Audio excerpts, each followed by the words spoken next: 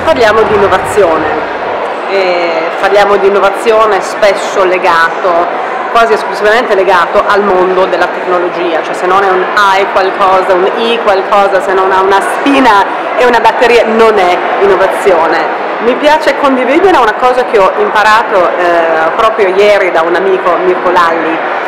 e ha tirato fuori il, eh, un sondaggio americano che parla dell'innovazione che ha cambiato il modo in cui viaggiamo, l'innovazione eh, più importante dell'ultimo secolo.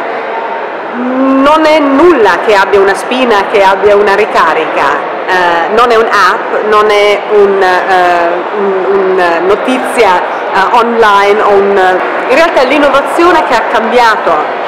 enormemente il modo in cui viaggiamo, il modo in cui abbiamo viaggiato tutto questo secolo è il trolley e la valigia con le ruote. Ma se noi pensiamo che la valigia esisteva già, le ruote esistevano già, la, la, la maniglia c'era già, 40 anni fa un genio è arrivato e ha messo tre, queste, tre cose insieme per fare qualcosa di completamente nuovo, di qualcosa di completamente innovativo. Um, l'innovazione oggi è spesso legato ai social media, è spesso legato sì alla tecnologia. Io credo che l'innovazione che noi abbiamo portato con uh, il nostro progetto di Digital Diary è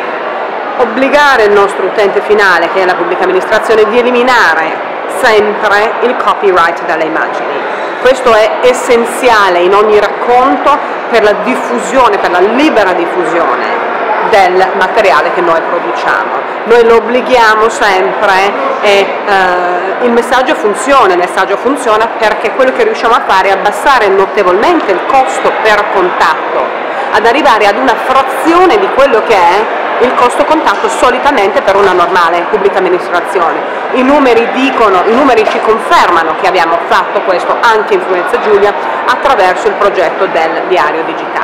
ma ci deve essere una condivisione libera attraverso l'intera filiera, attraverso l'intero sistema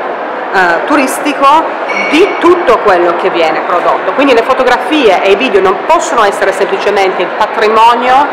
del cliente finale, devono essere patrimonio dell'intera filiera, noi dobbiamo essere in grado di regalare e di dare l'opportunità anche al piccolissimo imprenditore, al bed and breakfast, al bar, alla guida alpina, di migliorare a sua volta il suo messaggio che va online, facendo questo veramente dal bottom up condividendo tutto quello che facciamo e ovviamente consegnando tutto il prodotto finale al nostro cliente finale che è la regione Friuli Giulia e il turismo per Friuli Giulia, io credo che una micro nano eh, innovazione siamo riusciti ad, ad apportare in questa meravigliosa regione.